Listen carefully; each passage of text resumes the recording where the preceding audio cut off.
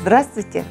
Сегодня я хотела бы вас познакомить с серией «Большая маленькая девочка», которую написала белорусская писательница Мария Бершатская.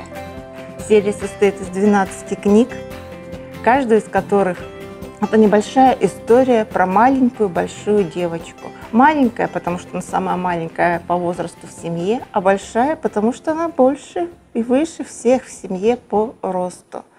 Эта девочка очень добрая, озорная, находчивая, и она и сама учится жить, и учит жизни, а скорее всего миропониманию всех окружающих.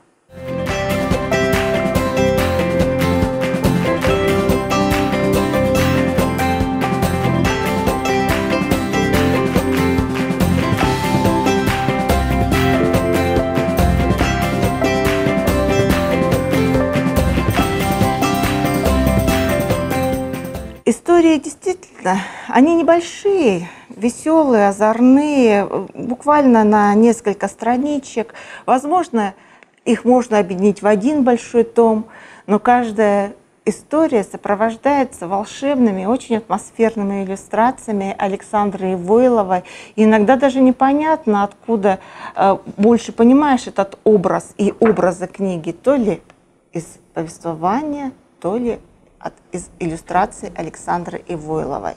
Немножко познакомлю вас. Вот смотрите, «Большая маленькая девочка» – это действительно история, как приручить незнакомый город. Но приручает город и сама большая маленькая девочка Женя и помогает адаптироваться в незнакомом городе своим родителям.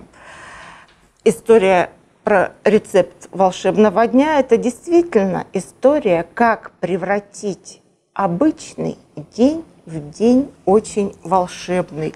Или другая история «Семь с половиной крокодильских улыбок». Вы не поверите, но она о том, как прошел день в школе.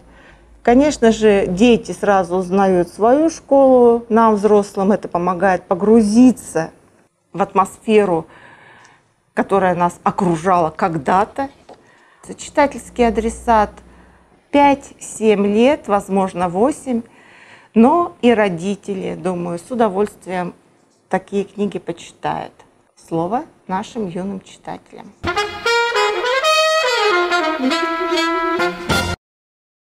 Главная героиня – семилетняя девочка Женя. Она очень высокого роста.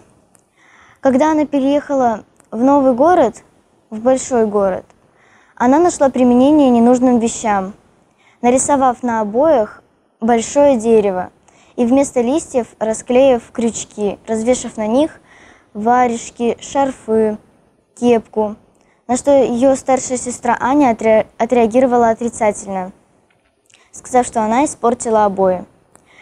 В новом большом городе Жене сначала было неуютно, некомфортно. Она думала, что они не подходят друг другу.